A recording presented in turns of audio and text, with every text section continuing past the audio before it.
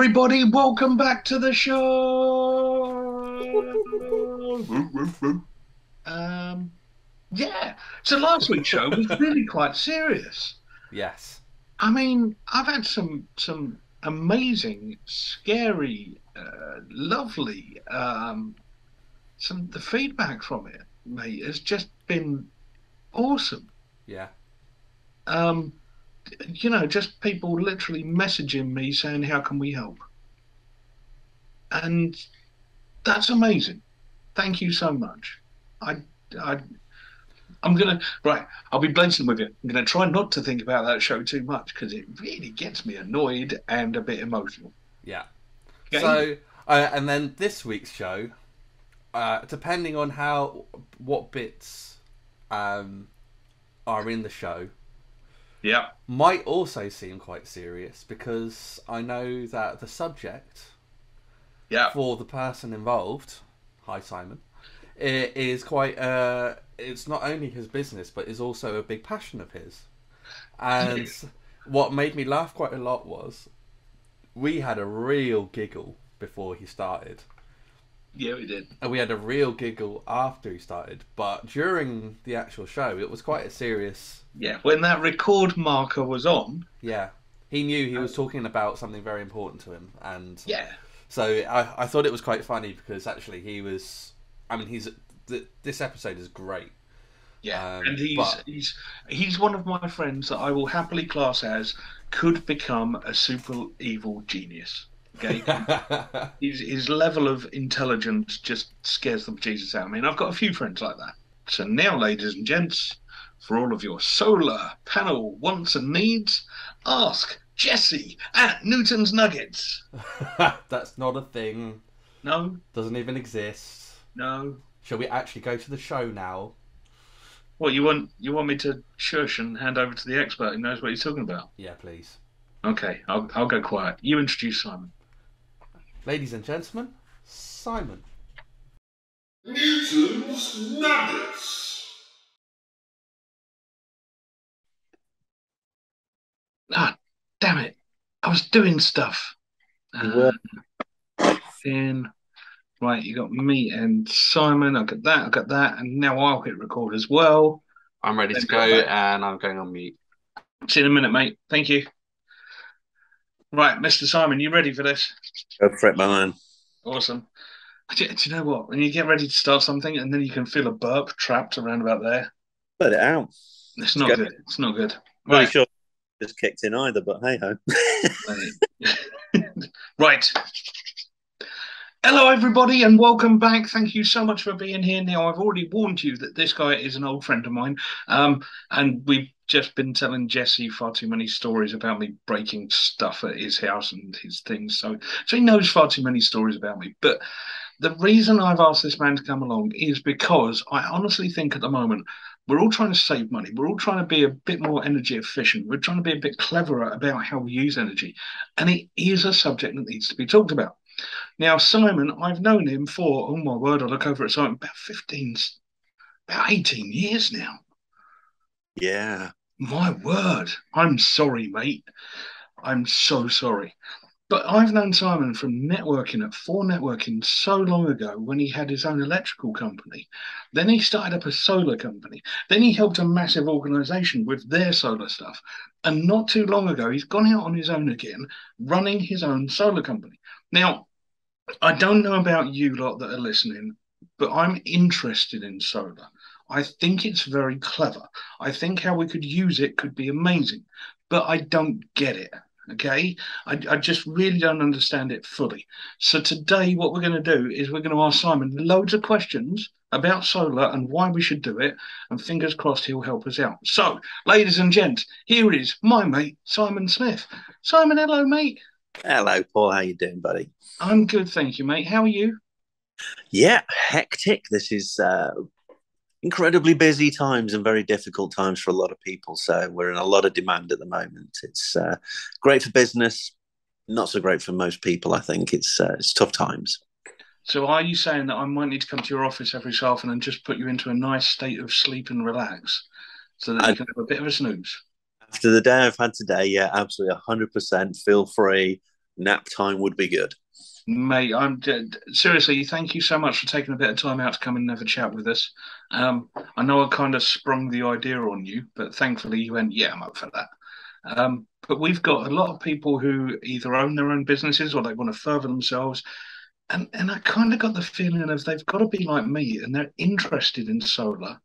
But the reality is, do you know what, Simon? It's like a car. Okay, I love jumping in my car, turning the key, and it turns on and it runs if I could trust solar that much, maybe I'd be further down the line with it. Yep. Now, um, right, stop, stop there, stop there. I'm going to ask you the first question that I always ask everyone, otherwise, people will be moaning at me that I've messed up the format. Simon, could you please tell everyone who you are and why they should listen to me and you for about half an hour? Okay, so I'm Simon Smith, and as Paul said, I've been involved in the solar industry now for uh, probably 12 years. Um, this is my uh, third business in this game. Um, we were bought out from our first, and then I moved on from that second purchased out business into doing this all for myself again.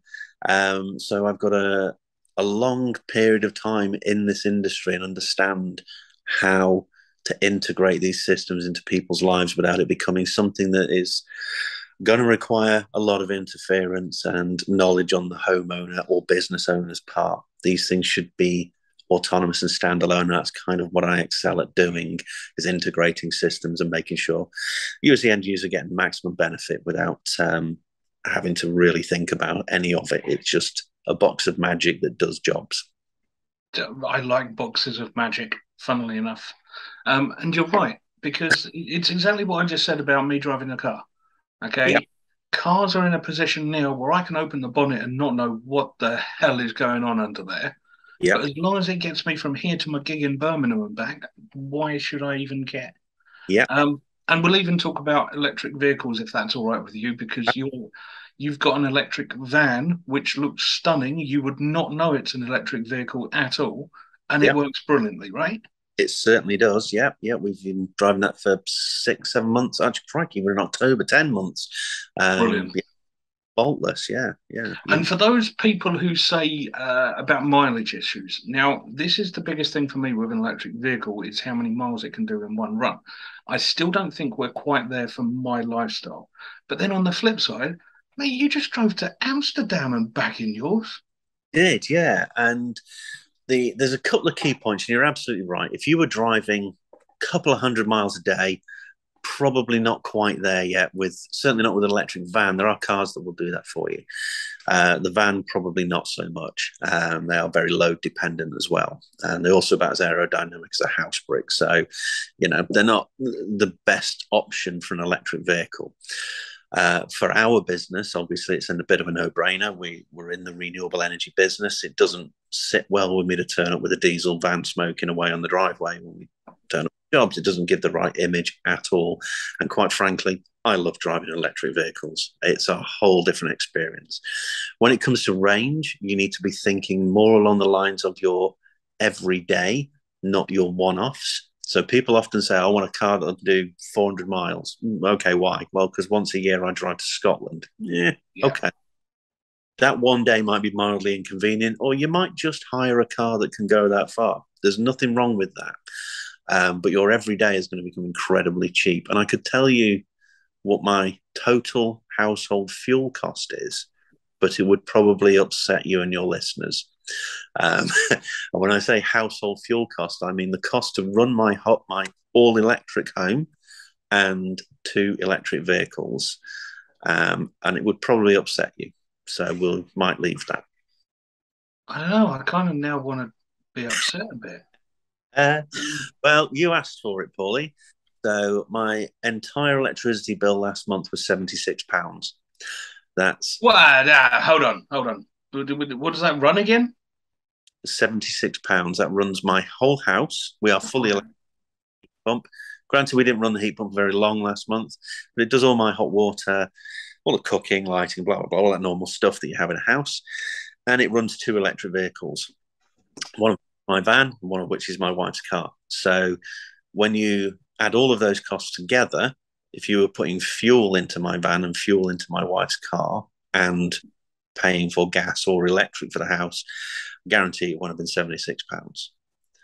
I, I can guess what it'd be, and I've got a smaller family than you.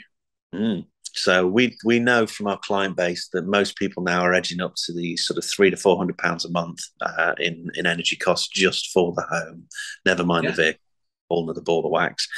Um, but yeah, certainly there's not many people getting into this into this range, and it's about integration of of the energy generation, how you utilize it, and we don't live uh, frugally, if you wish, not energy frugally. Um, you know, we do stuff like uh, run the dump the tumble dryer during the summer. Shock and horror. Why would we do that? Well, we got nine and a bit kilowatts of PV on the roof and a big battery, and we're allowed to do it because, well, we generate all our own electric in the summer months. So whatever, it doesn't matter. Um, and that gives us enough excess as well to to fuel the vehicles. Certainly, we charge the wife's vehicle for the weekend. Mine plugs in at a low rate energy uh, with Octopus Energy overnight so that we get four hours of charging at very low rate. And we store energy in the batteries at low rate so that we can discharge those when the energy cost is high. So we're See, that's that's one of the clever bits, isn't it?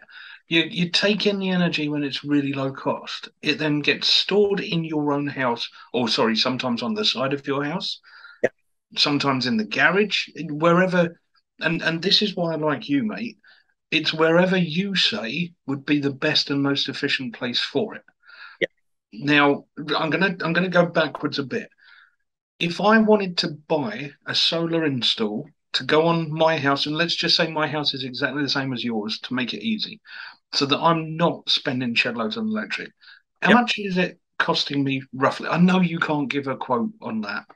Fine, I can give you a very good guideline price. So our standard 10 panel system, which gives you four kilowatts of PV and a nine and a half kilowatt hour battery. Um, that will set you back between ten and a half and eleven thousand pounds. Okay, now that's including installation, scaffold, blah blah blah, all the access. The only reason there's a variance in there is if we have to do something like change a fuse board out or something like that. Now, a four kilowatt PV array with that size of battery will take care of most of the electrical needs of a family home that's running on a gas boiler. Okay. And we'll advise you on gas boiler working a bit better as well whilst we're there. Excuse me. Now, if you are in a slightly larger house, so 10 panels will fit on on most average homes really, really easily. It's, it's not a huge system. You need a house that's roughly five and a half to six meters wide with a pitch angle with a, with a roof that's around about four meters long it'll fit on. Most houses have got that kind of space. Uh, you're in a centre of town in a compact uh, terrace or something like that, you might be a bit narrower. We might have to go a bit smaller, but then your energy usage is probably a little bit lower as well. So it's all scalable. Um, so if you were coming to me as that kind of client, three to four bedrooms, gas boiler, that's where you want to be looking at. We then have to look at what that energy for. So if you're now thinking, okay, well, next year we might go down for a heat pump. Okay, so we might want to look at maybe putting in an extra battery at the time. Not going to be a lot of use to you initially, but once the heat pump goes in, it'll be worth its weight. And the reason we would do that at the same time as uh, installing the PV is because now you get the 20% discount because you're not paying the VAT. Uh, if you add a battery later, they charge you VAT for it. So don't ask me why government wonderfulness. Um, but we're on 0% VAT for ESMs, yes, which is uh, energy saving materials. So install it at the same time as the PV. And this is why when we talk to people, we're asking them, are you going down the heat pump route? It's not because I want them to buy a heat pump off me now. I don't mind. Buy it later, it's irrelevant. But if you're planning on it, we need to design now so that you're getting the best for your future. And the same applies to electric vehicle if you're also looking at going down the electric vehicle route, you might want to put a little bit more generation on the roofs. And the reason we'd look to put a little bit more power output on the roof, so more panels, is so that we've got a bit more power available so that for a larger portion of the year, you can trickle charge some of that into your car. Because anything that goes to the grid, you're giving it away. Even on the very best export guarantee payment at the moment, which is from Octopus, you're only getting 15 pence and you can't go on a mixed rate tariff with them. You have to be on their fixed rate. So it's a bit of a gotcha. And you're giving it away at 15 pence and then buying it in at 35, 34, 35 pence, whatever it is now. You don't want to give away any of that because you're wasting 20 pence per You want- Yeah, you want to store every you possibly can, whether that be in your battery, in your hot water tank, or in your car. You want to use as much of that energy as you possibly can. I'm not particularly promoting frivolous use of energy, but you certainly want to be able to store enough of it that you're making use of it. And we have the ability, the kit, without a homeowner having to get involved in thinking about it, the kit exists to be able to just turn stuff on and it will work.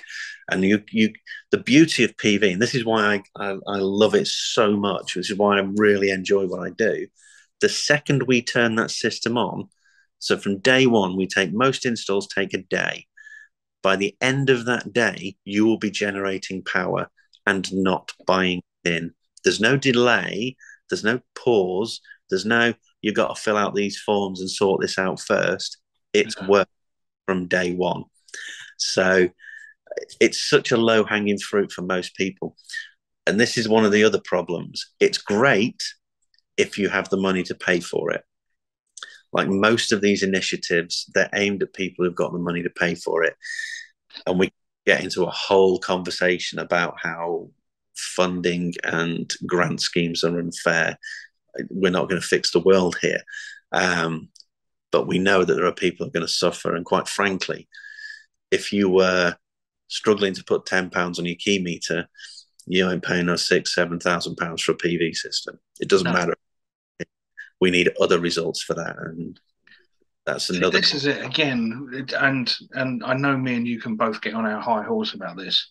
Hmm. You know, putting that ten pound on your key meter, which and we both know the key meter is the worst and most expensive way to have electric, and it's blatantly aimed at people that can't afford to have bills or don't have the right credit rating or don't have X, Y, Z reasons that they are not good with money right now. And actually, surely we're keeping them down if we're Yeah. not finding ways to help them move forward. Absolutely, and these packages that are happening now, it's, I find it quite sickening. So I'm I'm going to get uh, 400 quid contribution towards my electricity bill for the next six months. Yeah, I don't want it. No, I don't. I don't need it. That's actually that 400 quid is probably more than it's going to cost me to run my house. So they're paying me to live in my house. That's ridiculous. And I know a lot in that situation. They just don't want it. I didn't want the 150 quid they gave me on the council tax bill. You know, it's everybody got whether you want it or not. You know, um, that money is being pushed out and then effectively sent straight to the energy providers who are fortunate. Now we can profit's not a dirty word. I'm fine with businesses making money. That is the point. I'm in business. I'm here to make money. That's the long and short of it. But at the moment, these companies are making so much money that even they are saying, We've got too much money. What shall we do? We can't spend it. And we have a policy which is essentially rewarding them further with money that we're borrowing as taxpayers to Yeah. give back to to them for a price cap that's going to disappear in six months. I would I would rather have seen them say, and, and I did I just I, I'm going to bang this drum a little bit. I, I had this conversation earlier on. I had a little think about uh, some very quick back of the napkin calculations, and I worked out that you could put around about 1.6 kilowatts of PV and a small battery, two two kilowatt hours ish battery. Put a system together, and the money that they're putting into the boiler upgrade scheme, if you took that money instead of putting into that, quite frankly, not that helpful scheme, and put it into building those PV systems, you could take care of 75,000 homes. That's 75,000. That's that's without applying economies of scale and purchasing power at those numbers. So in reality, you're probably looking at roughly 100,000 homes. Yeah, because if if I turn around to Simon Smith and said, "I've got enough cash to pay for seventy five thousand of these, go see what deal you can get me." Oh God, yeah, fantastic deal on buying the panels, buying the batteries, buying the PV arrays. You'd have a custom kit built that Yeah. you would just put across all the different homes. And you're talking about a very compact system that will fit on practically every roof. It's only in most cases four panels, you know, so four of our standard panels will fit on most roofs. There's there's going to be very few that you can't help. And there's a there's another side to this. I can't even remember what the billions is that we're spending on giving everyone 400 quid. But it's in orders of magnitude more than the boiler upgrade scheme money. So we could have taken that money and borrow it fine. I'm happy to pay a bit more tax for that to help these help people out. I'm cool with that, it's fine. But take that money and you would probably then be looking at helping maybe half a million homes, maybe even as many as a million homes of people who are struggling to pay their bills with this incredibly easy to roll out system. But do you know what, mate? There's the, the thing that bothers me there is me and you have talked before about some of these solar panel companies who are doing it on grants and you can have this and you can I'll fit it all for free on your house. Mm. And then you find out that the company's taken ownership of part of the house in, in the contract. Yeah. And and I'm bothered. I'm really bothered about how many people are going to come to trying to sell their house and find out they don't own parts of it. That's happening already. Yeah. And already. So it's what they call a rent a roof scheme, and it was a byproduct of the feed-in tariff market, really. Um, so if you couldn't afford to buy PV, then having a company come in and put that PV system on for you at either a very minimal fee or no cost at all seems like a great plan. And yeah. in reality, kind of is until you want to sell it or make any changes. And then you look at the clauses in the contracts, which tend to mean that you end up having to pay for the PV system at the cost of the system back in 2011, significantly more money than it would cost now. It also makes it more complex when it comes to selling, which, whilst it may not stop you being able to sell, it might well put off a group of prospective buyers and it yeah. would certainly legal fees. So there's a lot of complications involved. The other problem is a lot of these companies were not set up to be long-term businesses. No. They came, made their money, they extracted as much as they needed to, and then they dumped it and ran. And they're bought out by other companies who are not interested. They don't maintain them. They don't do anything with them, but you can't touch them. And actually getting in touch with these people, these companies, and actually getting the information required so that you can progress a home sale is nightmarish in some cases, you know, because there's just nobody to talk to. Nobody knows about it. There's no records, there's no information. You know, I mean, I've my my standing advice for most people: if you can't get hold of them, switch the thing off. You know, or better still, remove the GSM card out of the mo out of the uh, meter. just unplug it because they'll soon get in touch if their revenue stream stops, and then then you'll know who they are. So, you know. Very true. When somebody's suddenly phoning you up going, why isn't this happening? Yeah, yeah. It's Oh um, look, we found you. Goody. Yeah, goody. That's all we needed to do. And you know, and it's a sorry state of affairs. You know, there's the feed-in tariff scheme was great for kickstarting starting the industry and it did its job, but it was also allowed to to to fund a lot of very poor behavior. Um, yeah. and, and I don't mean uh, illegal, dodgy behavior, but certainly poor fiscal behavior. Um, so it encouraged an awful lot of uh, foreign investment, which isn't xenophobia or racism on my part. It means that the money goes out of our economy. And whenever you move money out of economies in stop that circular motion of movement of money moving. You know, like Paulie goes and does a gig and gets paid and goes from the gig and pays for his fuel and buys some biscuits and takes the kids to Disneyland or whatever.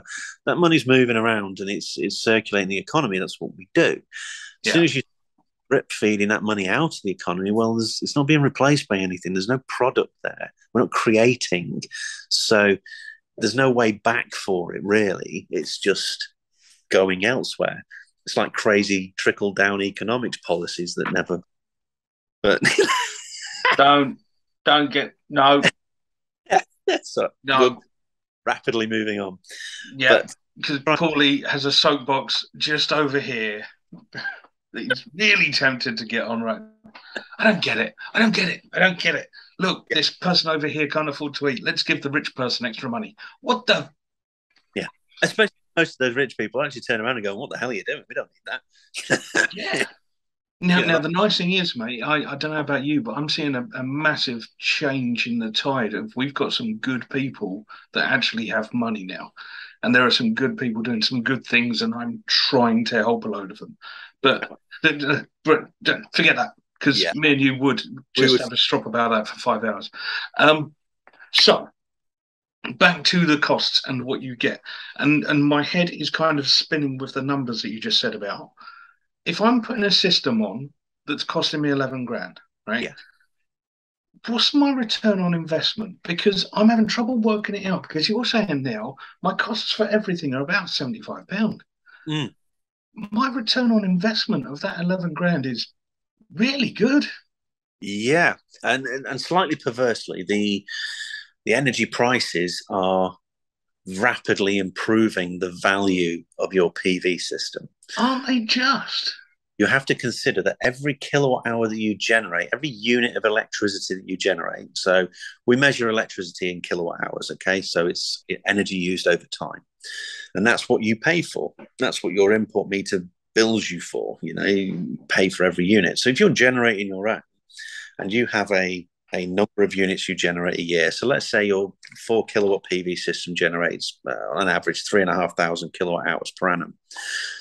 You're going to be able to utilize, in most cases, about 70% of that in reality. That's what you're going Okay. to use.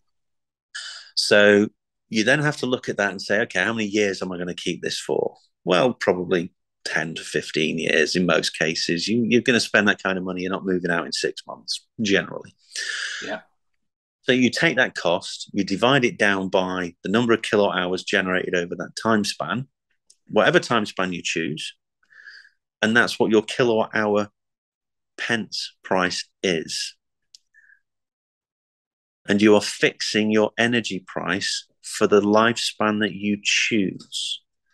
Whether it be so if you choose I'm gonna want I want this energy price to relate to a two years, yeah, that's going to be a really high per kilowatt hour price. There's no getting away from it.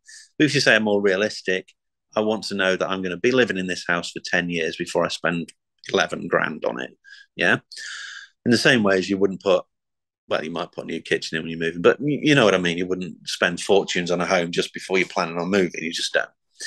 And uh, so let's say you're going to buy this system, it's going to last you for 10 years. That's that's how you would work out what is that energy price and that's valuable to you than understanding your ROI. If you think about it, what you're saying is instead of buying electricity, and we're going to use the current price cap at 34 pence a unit. So if we're fixed at 34 pence a unit, but I can create my own energy for seven to 10 pence per unit. Do I do I need to get a spreadsheet out for this, or do I just get on with it? I'll be honest, mate. I'm quite tired lately. We might need to do the spreadsheet when it's just me and you. that's Okay. Um, that's ridiculous, isn't it? Yeah. Now, the, the more interesting one is when you then start looking at businesses. Now, businesses at the moment, and this is really what, what we're aiming at here, is talking to, to those business owners out there who are now looking at their energy bills and going, Jesus, I don't really know what I'm going to do with this incredible four to five times increase in my overhead cost. It's crazy, you know? Um, and in some cases, we genuinely can't do anything for them. They don't have the roof space. Um, and it's incredibly frustrating. If we can get them on mixed tariffs, we can we can do battery storage systems that allow you to time shift. You don't need PV to have a battery system. It's not necessary. Okay. Um, but if you own, uh, you know, a reasonable sized building, you're sitting there and you're looking at your energy bill. Let's say you're manufacturing widgets for trainers. Well, no. and you think, crikey, O'Reilly, my, my electricity bill's gone from three thousand pounds a quarter to twelve thousand pounds a quarter, and that's not uncommon, by the way. Yeah. Probably been generous. Uh, so you could look at this and go, okay, well, what what do I do to combat this? Well, the quickest, simplest answer is just put a PV system on the roof. If you can, just do it. You don't need your financial director to sit down and work this out. You don't even all your. There's a number of reasons why that's true. The first one being that your costs are going up, so you need to control costs. And there's only a few ways that you can do that as a business. One of them is to lose people. Most small businesses can't afford to do that because then they don't have the people there to run the job. And let's face it, you don't want to want most businesses don't want to get rid of good staff. There's no point. No. You can reduce your runtime, your hours. Most businesses can't do that. No. Or you can move to a more efficient building. Well, that's really difficult because, well, moving is incredibly expensive. It's dangerous for a business to do. And frankly, property prices are ridiculous. So you might well be stuck with what you've got. So you simply just go, okay, well, we're going to put PV on, right? What's the next calculation involved in this? How do I sort out what size of system I need? In most cases, I'll be honest, you're just looking at how much roof, space, how much roof space have you got? Just fill it up. Because once you're building, once you're generating your own power, what you're doing is you're not just controlling your bills, you're changing your choices. You're giving yourself options okay, so now I'm generating electric. What else can I do with that? What can I do with electric? Yeah, I can run my light, run my process machinery. Well, I can do my hot water as well. So all my hot water is now taken care of really by by the PV system because it can heat that hot water tank for me, no problem. Uh, it can run my heating system most of the time that I need it. Certainly can run my air conditioning, can run my plant, and we can store some power in the batteries so that it can run the building overnight. So my costs are coming down even further. We then get into the nitty gritty of, of financing it. So you're not going to pay the VAT because you're a big enough business, you VAT registered, getting the VAT back. Brilliant. It's 20%. So you, you're kind of on a level playing field with domestic who don't pay VAT anyway. You're then going to look at your capital allowances. And because it's solar PV, you get 130% capital allowance on it. That's effectively after capitalization, that's about a 19% discount on a system. So let's say you're going to buy a system for 100 grand. After your tax super deduction, you're effectively paying about 81,000 pounds for it. That's a bargain. And if you work on most businesses, there's a five year payback plan on any investment. So five year depreciation is fairly standard in business. So you take that, you take that kilowatt hour price exactly the same calculations for domestic and work out what that kilowatt hour is worth to you. What is that single unit of power generated by that PV system worth to you over five years? So, you know, work that out and compare that to what you're paying out now. And I guarantee you it's a fraction of what you're going to be paying on your export, on your import energy come end of this price cap. And even with any assistance the government gives us, the six months we've just been bought with our little 400 quid and we'll have a price cap in place. Yeah, that's fantastic. What happens in six months' time, mate? Yeah. You, you can't just keep borrowing money to pay the energy companies. That makes no sense. It's a plaster for a weeping wound. It's infected. It needs fixing. Well, this is it. When when I, um, full disclosure and all that, I went to see Simon a couple of weeks ago, had a cup of tea at his new office. Um, and when I said to you that if things go the way I'm hoping, me and the wife are going to build our own house in the way that we want it. And I want Simon involved because, mate, I've got a funny feeling that you'll look at it and just go, Paul, for efficiency, let's look at this, this, and this. And I can incorporate that into the costs of what I would have done anyway. Yep. And you're going to save me a fortune over the next 15, 20 years. Absolutely. And, and most new builds now, um, it's very, very easy to exceed um, building regs requirements. There's some minimum regs that we all have to achieve when we're building brand new. That's quite normal. Excuse me. Exceeding those is very, very easy. And there are a number of products out there that I can point you at that would make life so much easier and, quite frankly, make your home virtually free to live in. Uh, you can certainly by leveraging tariffs, export rates. Um, you can certainly earn enough during the peak months to offset your cost. So you can be net zero cost. You will probably be able to be carbon negative if that's yeah. important to you. It's not important to everyone. Um, because you'll be generating so much power and exporting enough that your footprint of the build is zeroed out, if not completely eradicated. My- and, and I do think that's important. We've both got kids. Yeah, absolutely. I mean, my, my 1967 semi um, that we refurbished is technically speaking carbon neutral. Jeez, well done, mate. We export far more than we ever import in the year. Use we self-consume as much of that energy as possible, and that's without taking into account the vehicles. And I know mm-hmm. everybody's going to go, yeah, but they had to be built somewhere and get lithium in them. Well, okay, yeah, fine, but we need something now, and this is what we have available now, and this is what we can use, and it's a hundred million times better, in my opinion, than burning stuff. So, you Yeah. know, Yeah, there are so many really easy to access technologies, really easy ways to deliver this. It just needs you to be brave and go for it and understand that, yes, you need to do your due diligence. You absolutely must do your due diligence when you're picking your suppliers. Uh, installer and I can't do everybody's home or everybody's premises it's absolutely not possible but there are a number of us out there who are very reputable, who are very good and very passionate at what they do. Stay away from the nationals in the, on the whole. They're just there to make money and leave. Look at your local guy. Look at what they've been doing. They will help you out and they understand. Find people with passion. If they enjoy what they're doing and it's not about the money, they'll still be there to support you in years to come. You know, clients I've, I've literally just finished a heat pump actually for a guy who was a client in 2011. Um, you know, and uh, his first quote came to him from Octopus. Um, and we quoted, we were not cheaper than Octopus, but he came to us because he knows it's right and he knows what will work.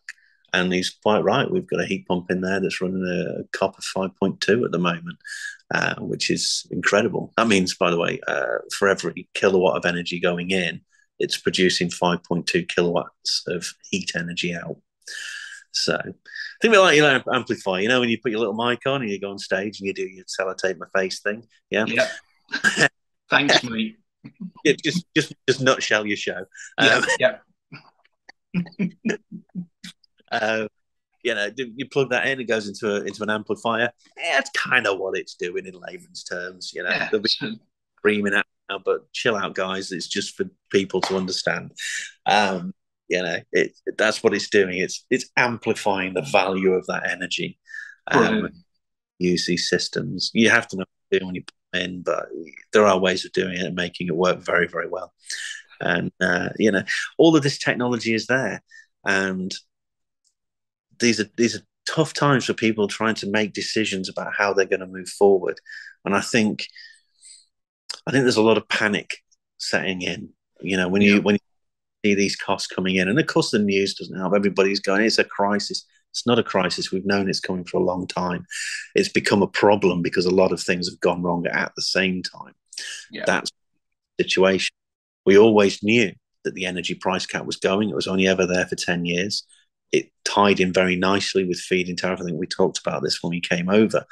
Um, you know, the feed-in tariff system was brought in place to promote solar PV during the time that the price cap existed. The idea being, I think, and I don't know this because I wasn't part of the ministerial body that came up with this magical plan, uh, would be that there'd be an uptake of solar PV. The feed-in tariff money would pay for that, would generate that interest. And then by the time we come to the end of it, we're not quite so reliant on all these fossil fuel systems and boom, off we go. We can let the price cap go to where it needs because hell, we're using loads of renewables. Well, the world didn't quite work out that way, as we know. Uh, so we've come out of uh, COVID, obviously difficult times. Demand's gone through the roof. Gas is low. Uh, problems with the Ukraine, obviously, with Russia, Ukraine's, you know, well, Russia basically being a bunch of crazy people. Uh, actually, that's not fair. One person being a crazy person. Yeah, Um, yeah, yeah. One of them bothers me. Yeah, definitely got some issues, and he's poorly, I think, and uh, it might chill him out. You never know. That would be Uh, amazing. It would be just one hug, and that's all he needed. This is where it's been. This this whole thing is your fault. He needs a poorly hug. Have you ever hugged a Putin? I don't think they'd let me near.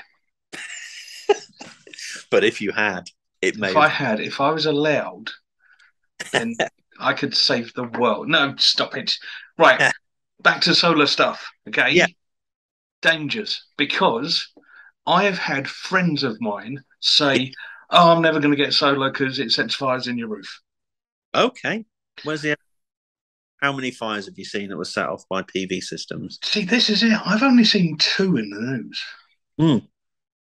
Yeah. How, Isn't it funny how people will jump in a petrol car with explosions going on within feet of their body, right? Really? But no, that's fine because we've been using them for years. you find hurtling down the road at 70 mile an hour? What could possibly go wrong? But yeah, Only 70. You haven't been in my car for. a. Nope. Nope. this is recorded. No. Definitely 70 is the top speed. 60, maybe even 50, to be honest. And uh, I walk everywhere. I don't know what you're talking about. but no, in all seriousness, the there are risks. Absolutely, there are risks. We're dealing with uh, high voltage DC. Um, if there are what we call arc faults, so if there's a problem with the cabling or the links or something like that, then yes, things can go wrong and there can be fires. There are some products that help us mitigate that.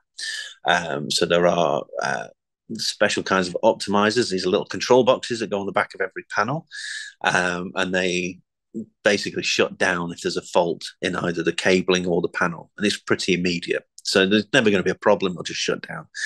There are other products if you can't afford that type of system. Uh, there's a new one that's come out. Uh, that is a, a special clip, uh, fire-rated clip that goes over uh, the connections that are made on site. Because the biggest point of failure is, generally speaking, the connections that are made by the engineers on site. Um, it's it's easy to not get it right, uh, and it's very rarely checked. Um, so you have a little cover thing that goes over it. It's full of intumescent material. If there's a fault in there and it sets on fire, then it will only burn out in there. There's no oxygen, kills it, job done. Totally Genius. get up there and fix the problem. So that's quite nice. I'm, I'm promoting the use of those on all of our non uh, optimized systems at the moment, um, just because, quite frankly, they cost. I think it's it's about thirty eight quid for a pair. You might need four on one job, so that to me is worth a roof. Uh, so we just stick them on. So It's worth a roof and all of my family's ancient photos, right? absolutely, yeah, yeah. Kids are replaceable. Don't lose the photos. And Before we get complaints, he's joking. He's. I hope he's joking. I might be no, um, But, it's, but it is true, isn't it? And yeah, I, I know as human beings, we always jump at what's the worst case scenario and all of this. But if if I hadn't asked you about what are the dangers, somebody mm. somewhere would have sent me a message going, "Well, I saw a fire started because of this," and it's like, "Good lord, it's electrical." yeah. there are there are electrical fires all the time, absolutely all the time. You you don't hear about many of them, but they happen. Um, Yeah, yeah. You do not hear about oh, electrical fire started from this dodgy charger plugged into this dodgy socket. You don't hear about it very much because they just happen. Yeah, and uh, you know, and and solar PV is a fairly new kid on the block. I mean, okay, I've been doing it for twelve years, but it's become more and more common for people to talk about it. So it's an easy target. In the Yeah. same, you know, as well as I do, if there's an electric vehicle that's been involved in a crash and it sets on fire, then the, the news stories are full of how dangerous electric vehicles are. Well, good God, man, do you not know about the history of cars and how many burnt before you know certain manufacturers did anything about it because they decided that let's weigh up the cost of fixing it against the cost of just paying people for being dead. You know, Mate, I've, I think I've seen exactly the documentary you're on about, and Yeah. I'm not going to talk about it too much because I'll probably get sued. yeah, I'm Um, I'm names very carefully, and uh, I can't do anything with them. And uh, But right, okay, I've, I have taken too much of your time already, but this is a subject that I think we could keep running with. And Yep. and do you know what? I think your idea is great of see it as a cost for 10 to 15 years and do it again because you're going to save a shed load more Yeah.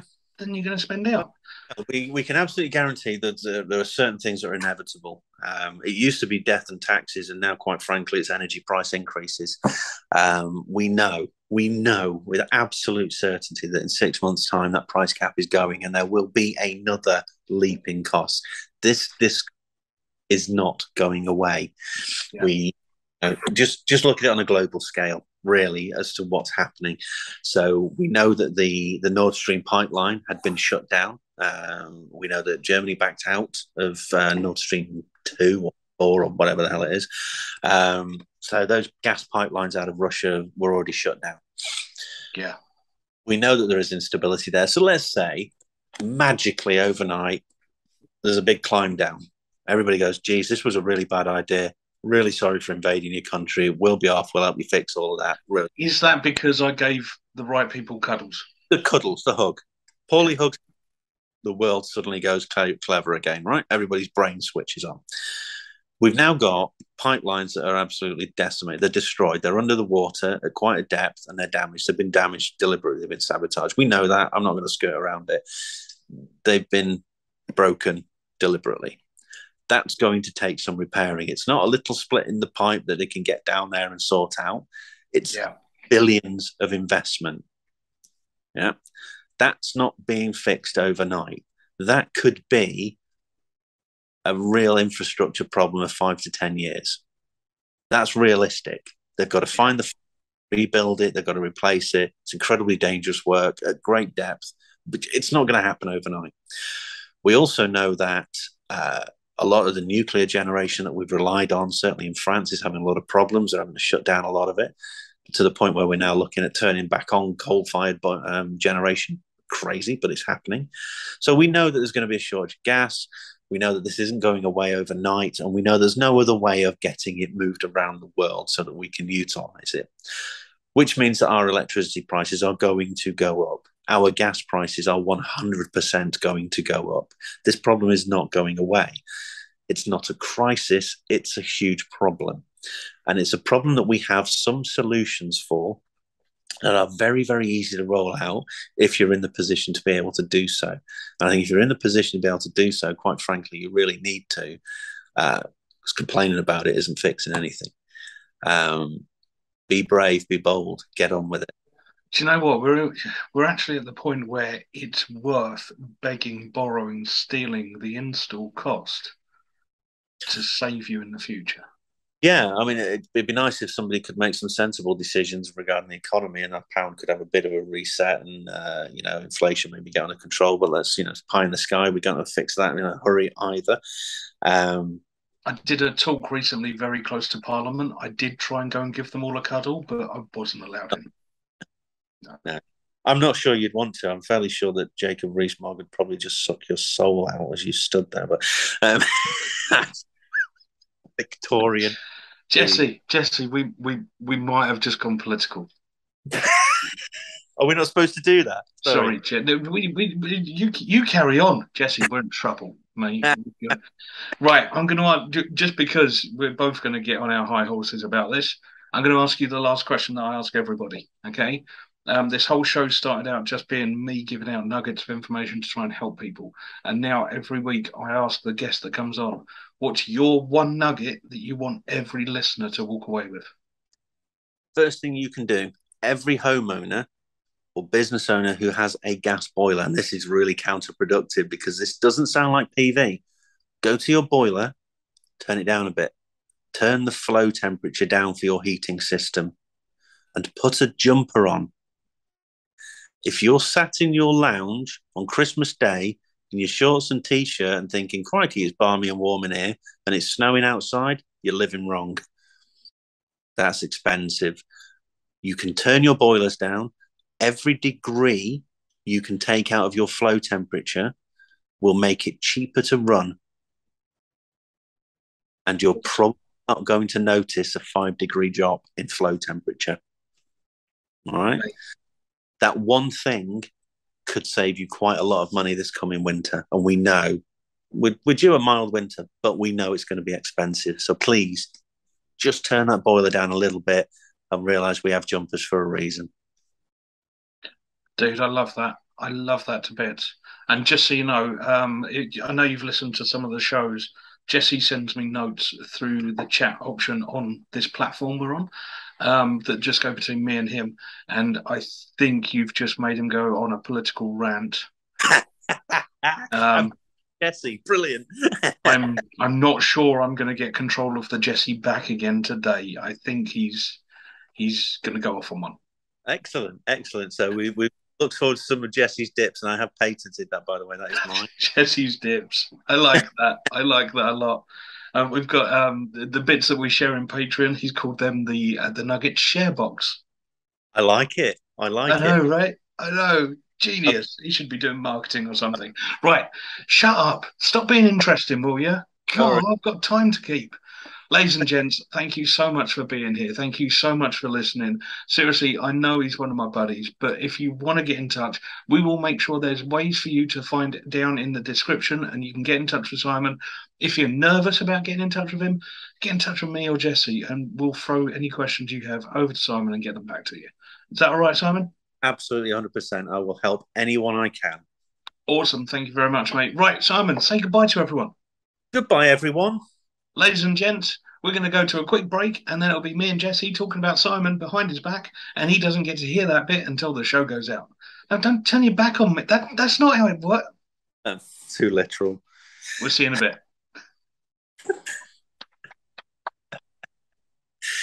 Nice. Mate, I enjoyed that. How much did we... Dude, I reckon we did about 50 minutes. Yeah. I lost track. Yeah. But the thing is, I mean, I, I wanted to just let you go on some of it because you're saying things that people need to hear. Mm. There's there's so much going on at the moment that's just wrong, Yeah. and I don't know. I don't know how we fix it, and it worries me greatly. I love what I do, and I love helping those people that I can, but I worry for the people that I can't, and there's a lot of them, and that's the difficult pill to swallow because I have the option. I have I have the, the ability, as as do everybody, as does everybody else in my game. I'm not unique. We, you know, th- there's a lot of people who can do this, Yeah. and we all know how to help those people who are struggling, and nobody wants to do it. And we've got more and more people falling into that bracket. It used to be that the view was everybody's idle shiftless, sitting at home, collecting the dole, and just enjoying life. That's not reality. no. That isn't how it is. You Mate, know. I've got um see what you've said there kind of goes with the theory of mental theft. I mean, yes, I can go out and do talks and I can charge a good fee for doing the talk.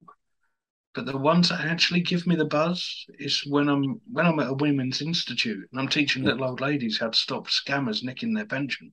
Yeah. Um and when when somebody watches one of my live scam of the week things and they go, shit, someone just tried that on me. And I stopped it because of what you'd done. Yeah. That for me is when you go, that's what it's about. Yeah. Um, but unfortunately, that old money thing means that we can keep going. That's it. Unfortunately, we need to do it. It is part of life. It's a reality of life. Um, but it's Yeah. how you affect those people that make choices that make the decisions about how the money that the revenue that they collect as a business from us as as, as taxpayers, because that's what it is. It's our money. Um, that they're courageously giving back to us, and then we're giving it to the energy companies. But you know, it's um, it's how do you change that? And it it's painful to watch. It's Yeah. it's just so wrong when you know that there are ways to solve this quite easily, really. Yes, it takes some effort. Yes, it will take a will to do so. And it will be a very brave politician who stands up and does it. But it is doable. See, this is, I don't think it's any of the politicians we currently have. I, I can't say I disagree. I, I don't. I, I think we've got two years of absolute shambolic mess ahead of us. I, Um, I almost think that we're getting really close to being ripe for a new party to come in that Yeah. turns around and goes, I'm actually here for the people. The problem is, I think it will go too far the other way.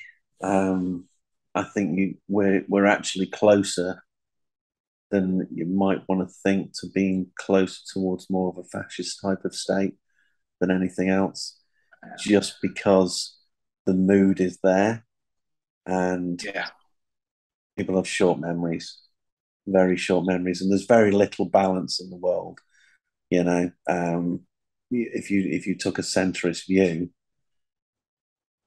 you're always going to struggle, and you'll almost never come out on top because you know you don't have a majority either way. So it's it's difficult to come out on top. What you need is extreme views to be either winning on the left or winning on the right, and it takes that swing to make a win. You know, it, it's just the way of it. Um, and what you have to rely on is that there is enough difference between the left and the right without it being extremist Yeah. that one or the other of them is going to do the right thing.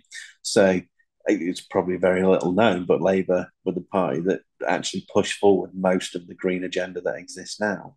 Um, and it worked very, very well. It wasn't the best thought out scheme in my mind, but it was better than the absolute nothing that we would have got with the other options. You know, it's uh, it's a sorry state, and I kind of I, I wonder what what what the world would be like if people like myself, or possibly better educated than myself for sure, were able to have influence in these in these arenas. You know, um, and to talk at, at our level, but also at theirs, which is something. I Do you think know what, mate? Why Yeah. why don't we why don't we put up with this for a few years and go and buy an island? And, and you know, we'll call it the cult of nuggets or something. I don't know. Well, with the way with the way inflation's going and the, the weakness of the pound, and we might be able to buy Ireland, but uh, uh, right. Um, Simon and Jesse, uh, do you guys want to do an extra bit? I'm I'm fine. happy to. Awesome. Right. Should we I'm hit gonna- stop on the record and do a new bit? Yes, that'll make you really easy for your editing, won't it? Newton's Nuggets.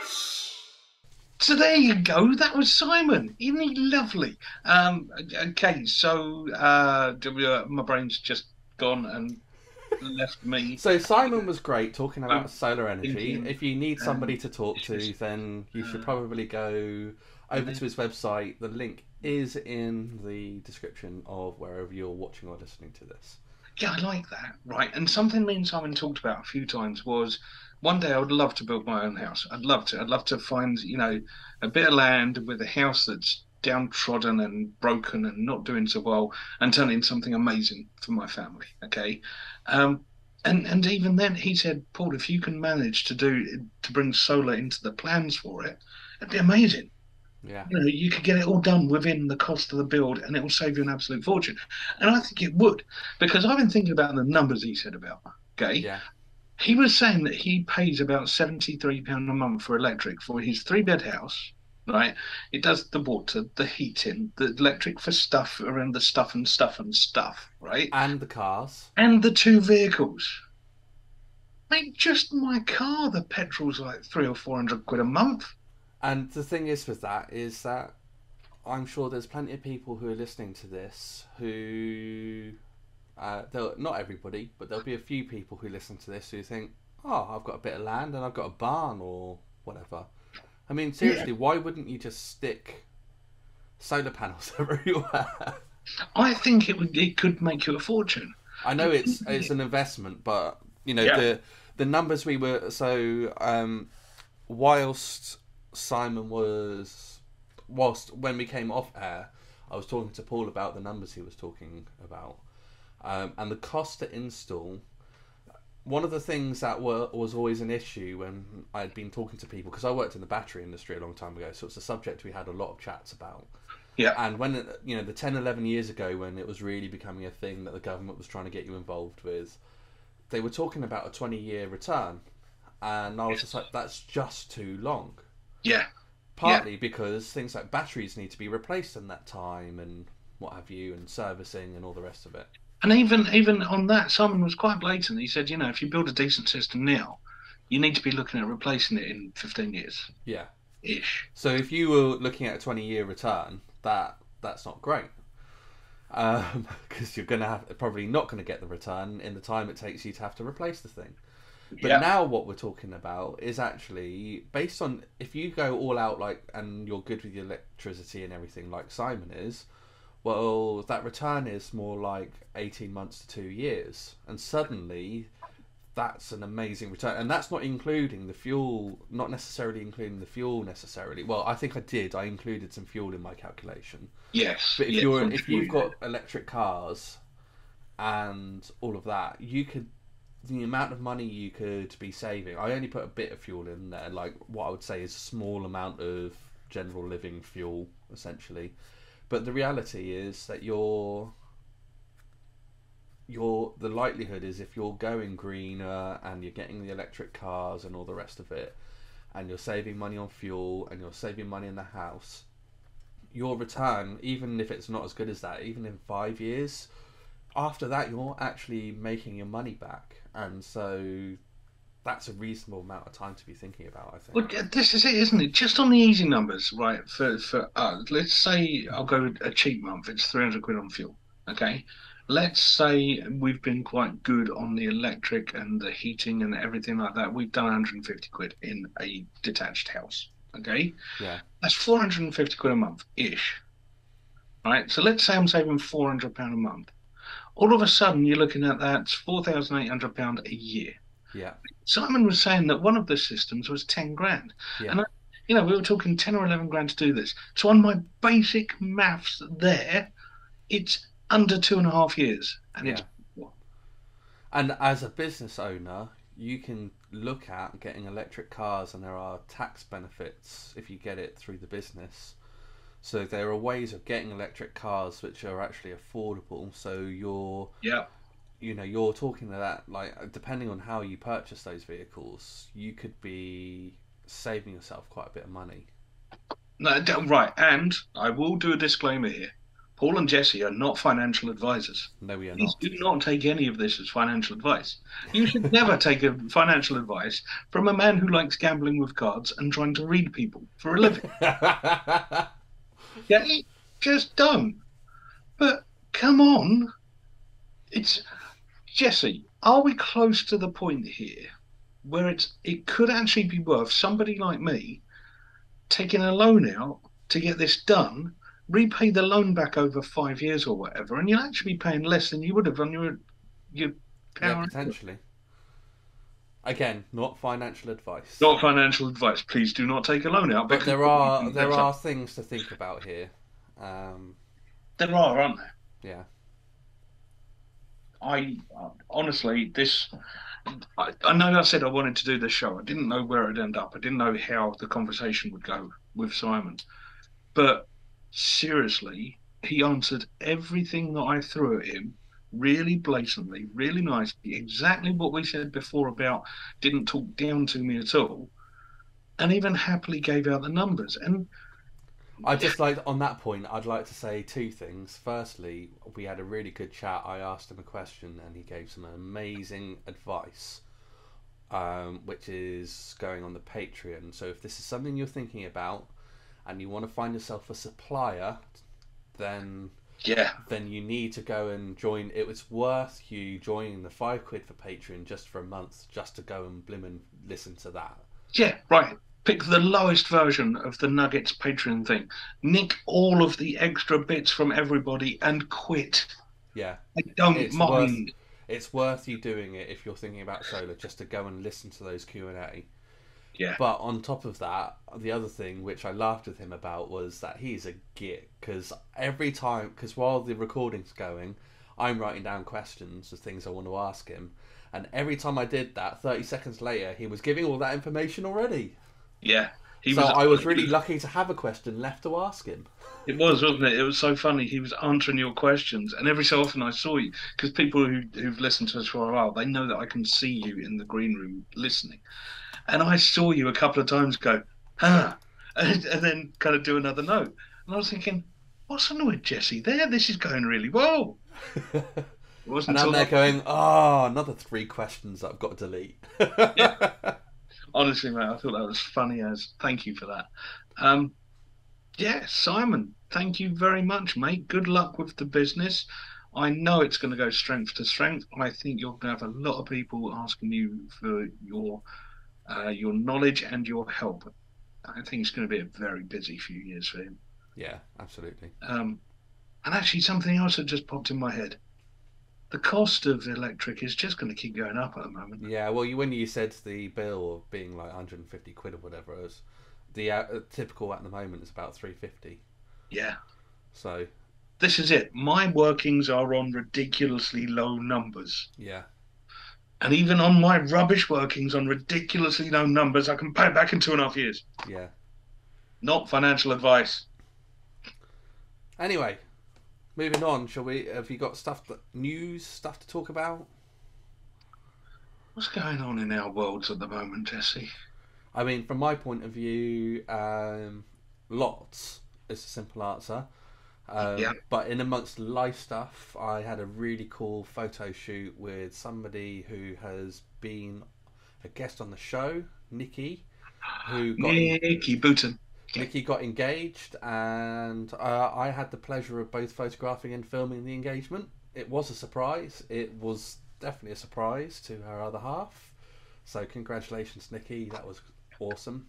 Uh, I know that we, Nikki's doing some stuff with her business that will be very interesting for other people to be in the future. So we might have Nikki on again at some point in the future. We just don't know when. Um, If so we yeah. get Nikki on again, can we both sit there and gaze adoringly and go, tell us about it? you can if you like, Paul. Awesome, awesome. I got this. Um, yeah, so that that that was lovely. In all the stuff that's been going on in our worlds at the moment, Yeah, it was so nice seeing those photos, mate. and and and a special thanks to Mrs. Paulie who covered my backside for a load of stuff that I had going on. Who during that photo shoot that I couldn't cancel for obvious reasons, uh, I had an awful lot of stuff just happen that was outside my control, and Mrs. Paulie came and helped. So thank you. She's pretty awesome, isn't she? She's very awesome. Um, and Minnie Paulie helped as well, apparently. Yeah. Yeah, yeah. Both mini Paulies. Yeah, and the furry one. Um, that just sounds wrong now I've said it. And I've just had a text saying that I've I've missed a parcel and I have to click this link to pay one pound forty five to them. Oh yeah. Yeah, yeah. Scam of the week. Now, um, right. Nuggeteer, are we are we on Yeah. time for Nuggeteer of the week? Let's do Nuggeteer. And Nuggeteer of the jingle.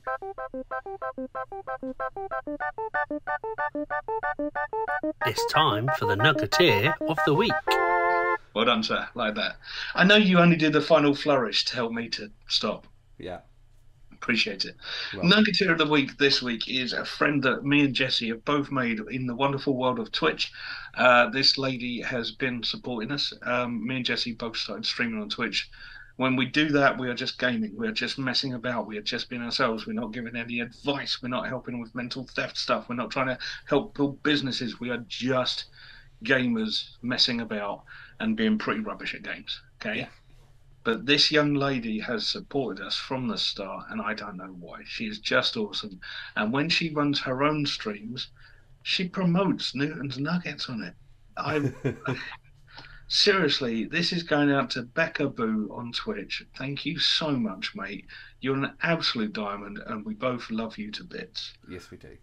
Um, yeah, even even Mrs. Paulie, if she sees Becca pop up in a chat somewhere, she's like, "Oh, Becca's on." and I can tell you now that she went live just before we started recording this, so I'll be going off to watch that after we finish recording. Oh, is that why you're saying hurry up? Because you want Yeah. to go and do that instead? Yeah. Fair enough, I don't blame you. Um, so yeah, maybe maybe we could drop a link to her Twitch channel. It's there. Uh, go and check it on the website. So Nuggeteer of the Week always goes on the website rather than uh, into the descriptions. yeah, Yeah. good move. Anything else, Jesse? I No, can't think that's think it. of. No, I think I think everything else that I'm working on at the moment is secret for one reason or another. Yes. That is Jesse's version of shush ball. That's it. That'll do, pig. That'll do. hey, is it, yeah, all right. So, ladies and gents, thank you so much for being here. As always, um, every time you share the show, every time you listen to the show, every time you, you promote the show, it just means so much to me and Jesse in our wonderful, weird worlds that we're in at the moment. Yeah. That you guys are still promoting us, still helping us, and still backing us. Thank you so much for being there, and we will see you next week with another thrilling installment of Newton's Nuggets.